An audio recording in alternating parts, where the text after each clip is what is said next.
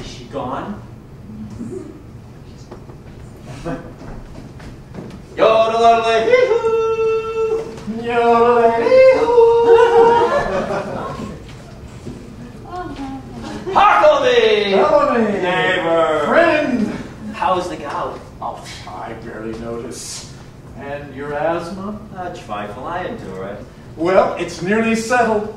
What is? A marriage. They're nearly ready. I hid in the bushes to listen. Oh, it's something. They're out of their minds with love. Hooray! My son, he is fantastic. My daughter, she's fantastic too. They're both of them mad. They are geese.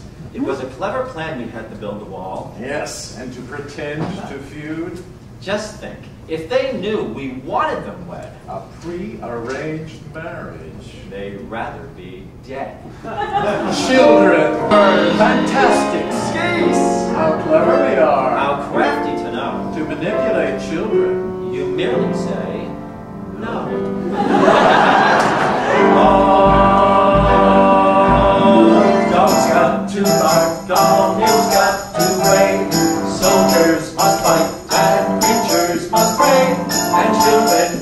guess, must get their own way. The minute that you say no.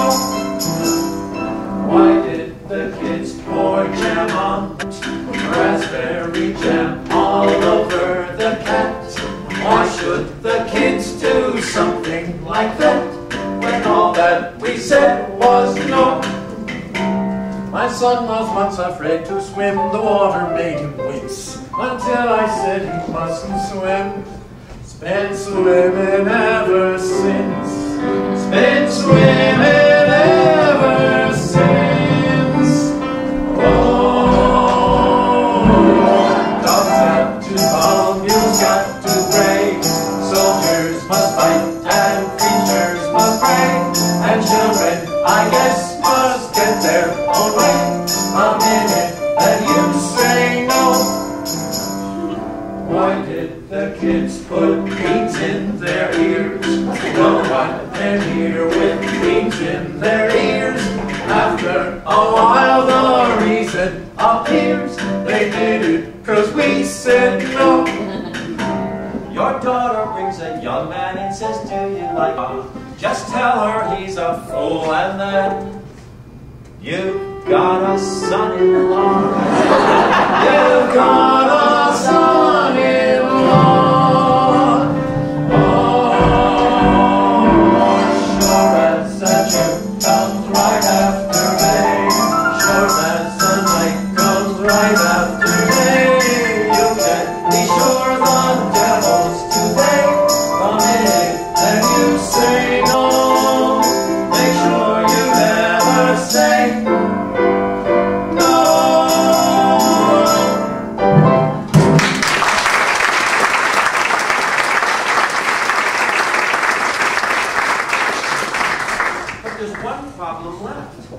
How to end the feud? Exactly, you guessed it. We mustn't let them know. Oh no, if they knew, we're finished. We're through.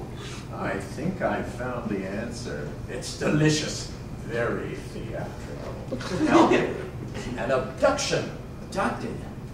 Your daughter. Who abducts her? A professional abductor. I've hired the very man. Gentlemen, good evening.